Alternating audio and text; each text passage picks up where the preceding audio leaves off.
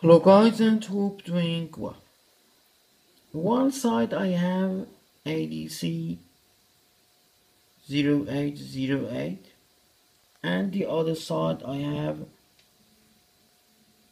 DAC 0808 exactly two reverse ICs one from digital to analog and other one from analog to digital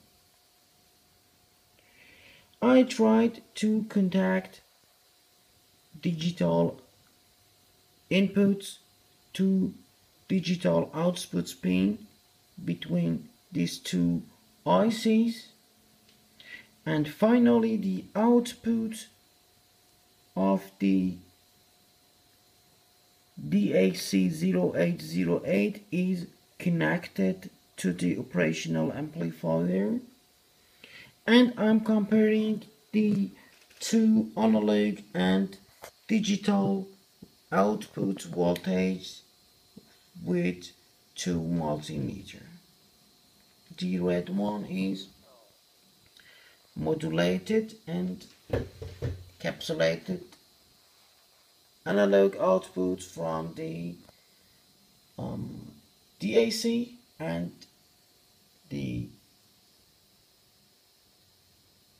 this uh, multimeter, the Voltcraft, is before capsulating you can see the number of voltage are same. You know that this is not a very uh, expensive multimeters but these two multimeters are uh, same.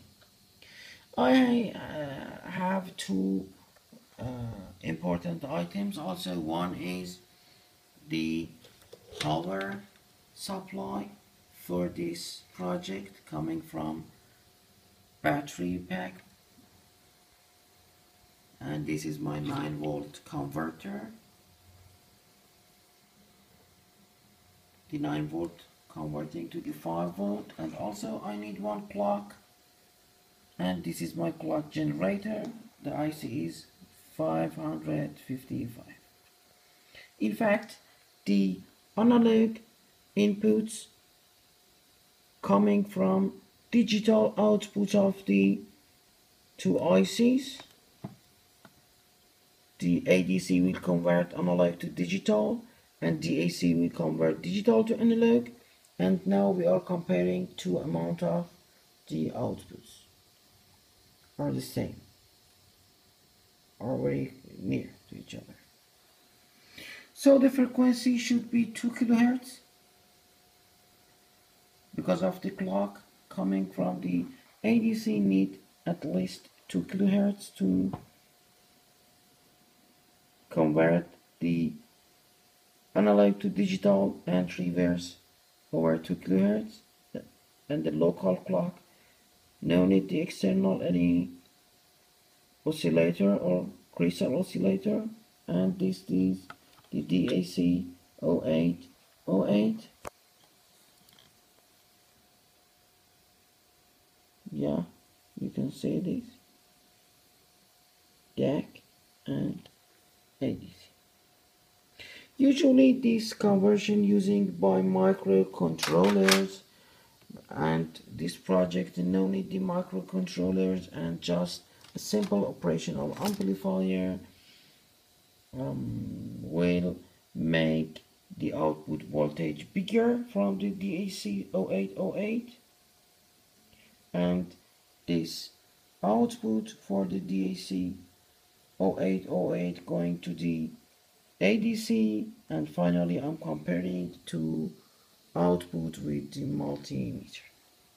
Now I'm going to take a, a look to the pinout and exact same date. From Google. Pictures. You can see this one is ADC 0808 yes?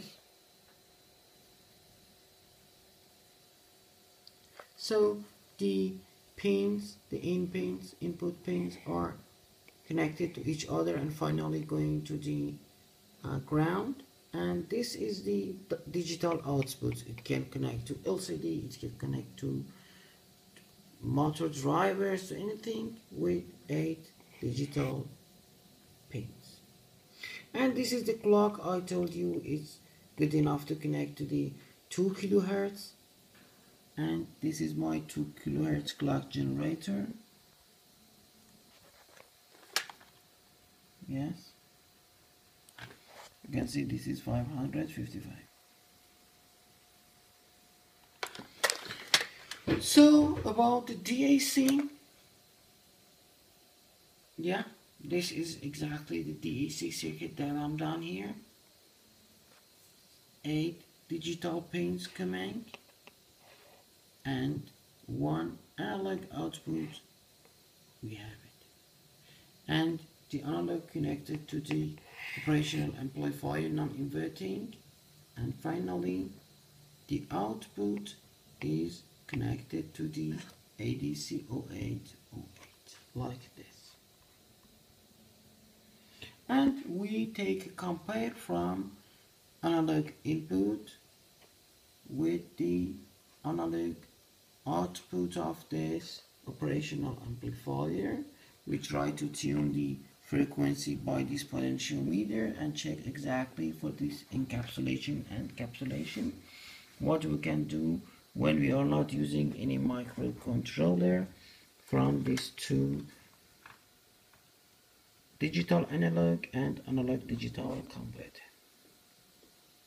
We can exactly see that the voltage are the same if I'm going to take better operational amplifier the amounts going exactly the same. Thanks for watching and goodbye.